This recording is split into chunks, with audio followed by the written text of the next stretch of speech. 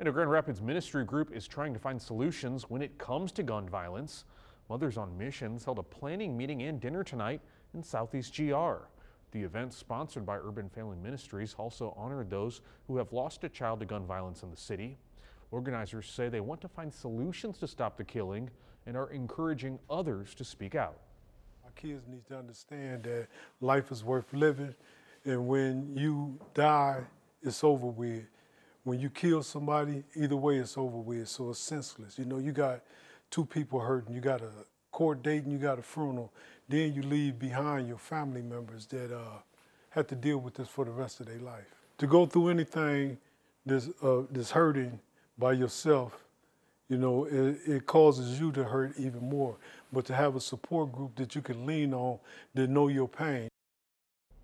The group does plan on holding more events later this year.